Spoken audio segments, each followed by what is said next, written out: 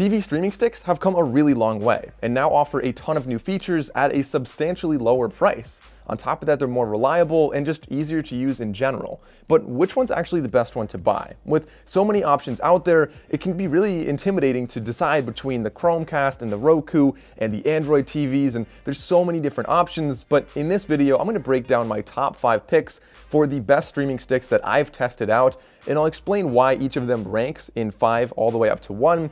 And this is in order of my favorites, one being the best, but keep in mind that any one of these might be the best one for you, and I'll explain why each one has its own perks. So before I get into number five, let's quickly talk about the criteria for this video. When I say TV streaming stick, I'm talking about things like this Fire TV stick right here. So everything in this video is going to be some type of little stick or dongle about this size that can plug into the back of your TV and give any TV or projector or monitor a completely new interface. And this is going to allow you to do things like watch Netflix or Hulu on there, or you could even cancel your cable and watch like YouTube TV, watch actual live TV on there. And of course, they also have quite a few other features as well, including a voice assistant. So you could search for the weather. You could ask it to change things in your house. They work as a smart home hub. So you could change like the colors of your light bulbs or play music on your TV. So you get the idea. There's a lot of things you can do with these and everything in this video it's capable of doing all of that. But let's talk about what the top five are and what the differences are between them. Starting off with number five,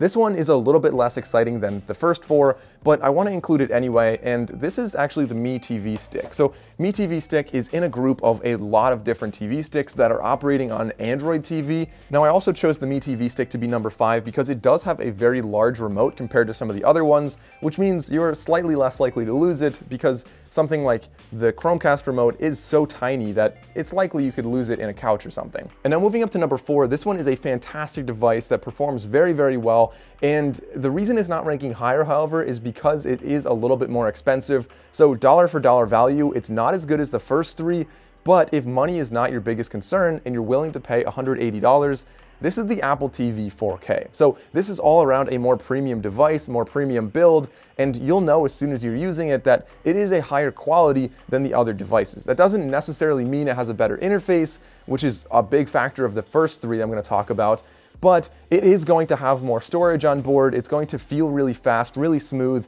and it gives you a really nice Apple experience. So if you have iPads and iPhones and little Apple Home Minis all around your house, then this is going to be a great option for you. Like I said, however, this is more expensive, selling at $180. I will put a link down in the description for all of these products. So if they go on sale for Black Friday or Prime Day or literally anything else, you can definitely go down and check out those links to see what the latest prices actually are. Now, with that being said, guys, let's move into number three. This one is one of the best sellers in the country. Tons and tons of people are buying this one. I see it absolutely everywhere and it's a great option all around. So this one right here is the Fire TV Stick 2020. I've been testing it out and honestly, it works really well. You have some updated specs on here and it gives you not only a great streaming stick, but also a great remote as well. It feels more premium than the Mi TV remote, which is very, very plasticky. This one has a nice little rubbery ring on there, and it just feels very nice. It also has TV controls, so I can turn my television on or off, I can change the volume,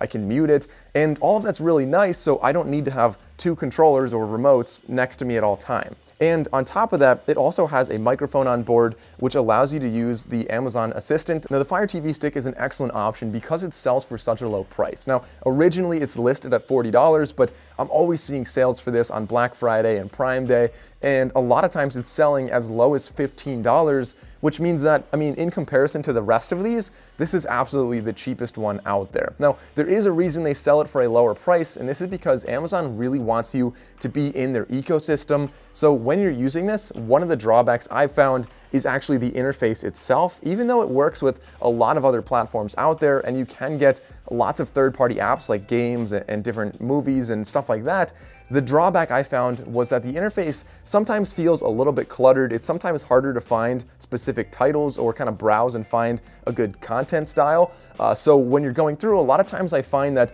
they have a lot of like Prime Video being pushed, but if you don't have Amazon Prime, which you don't need for this, they're still gonna push a lot of Amazon Prime ads to you and try to get you to upgrade. So that's kind of a drawback with the interface for now. But if you have this, like I said, you're definitely going to be very happy with the Fire TV Stick. Now, as far as hardware goes, the Fire TV Stick does an excellent job, but if you care more about the interface, which honestly I do because I don't want to sit here and spend a lot of time looking for titles, then the first two are definitely going to be better options for you. Now, before I get into number two, I also want to point out that the Fire TV Stick does have two options. So you can either get the Fire TV Stick from 2020, which is 1080p, or you can get the 4K version for an extra $10, so $39, $49. Now, moving up to number two, again, this is going to have a better interface in my opinion, and a lot of people actually think this one here, the Roku Streaming Stick Plus, should be number one. But I'm putting it number two for a reason, and I'll explain that in a second.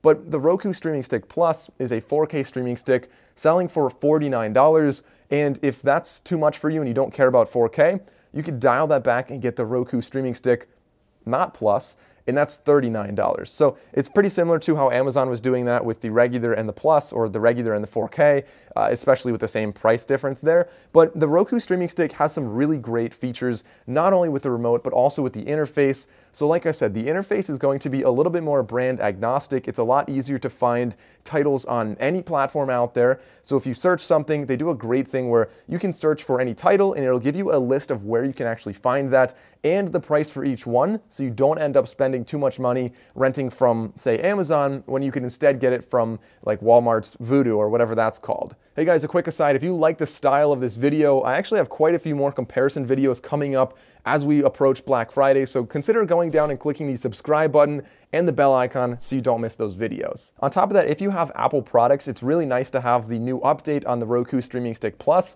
which does give you AirPlay. Uh, so obviously that's going to allow you, if you have iPads or uh, iPhones around the house, you can cast very easily with that. It's a great feature to have.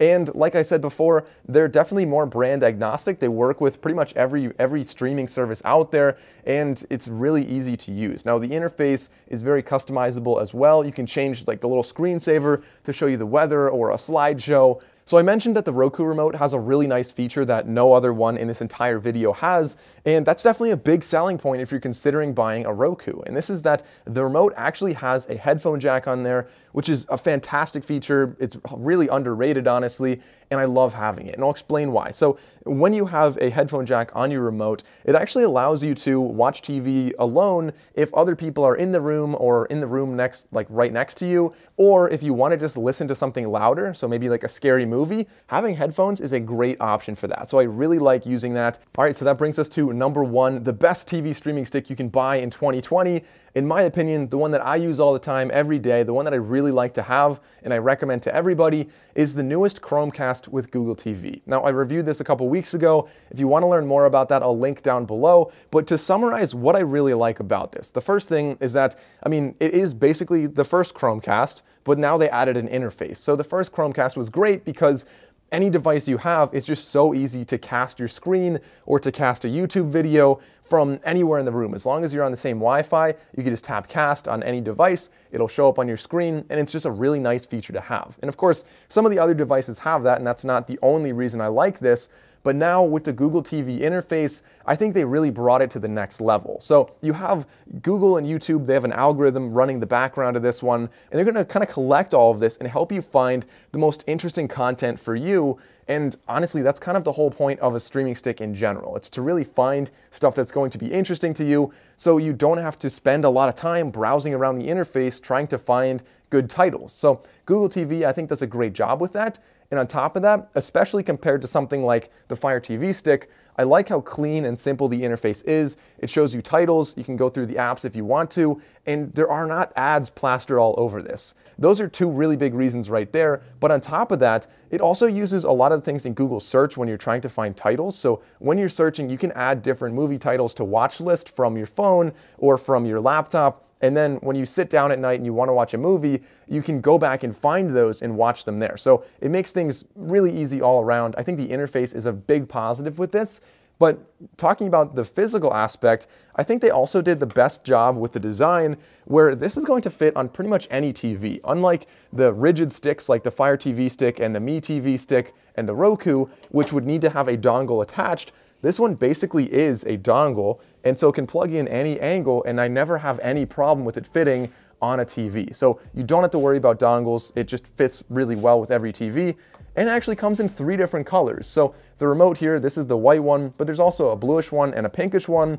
But with that said, the remote also has some cool features on board. So uh, it does control your television, which is cool. You have the power button, you have the volume button, you have a mute button, and on top of that, you also have an input selection button. So I think this is a really great option here. So a lot of times, if you have a different channel set on your TV, you turn it on with whatever, with the, with the Fire TV stick, and then you realize, oh, this is on a different channel or a different input, you have to go and find the actual television remote and then change that to the right input.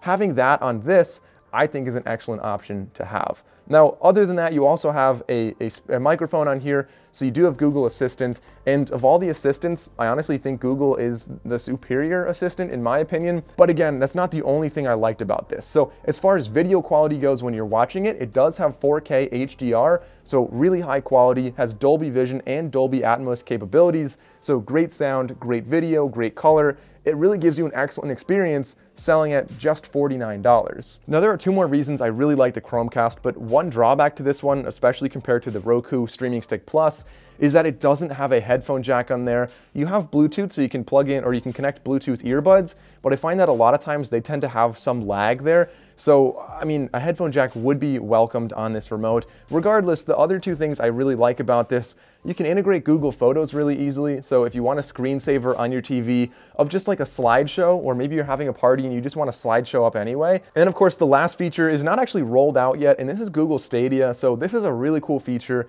If you don't want to have a physical console, an Xbox, a PlayStation, you can instead be considering Google Stadia, where you just need a Chromecast and the controller. So a lot cheaper and a lot easier to bring it around, a lot more portable. So if you're interested in that, that's a really cool option. And like I said, it's coming out in early 2021, the accessibility on this Chromecast here, but it's definitely another reason to be considering this one if you like playing games, especially on Google Stadia. So guys, those are my picks for the top five streaming sticks you can buy in 2020. Honestly, they're all fantastic options, but those are my picks from five all the way up to one for my favorite streaming sticks. Comment down below, let me know which ones you like better and why. If you enjoyed this video, consider liking and subscribing. Thanks for watching, I'll see you next time.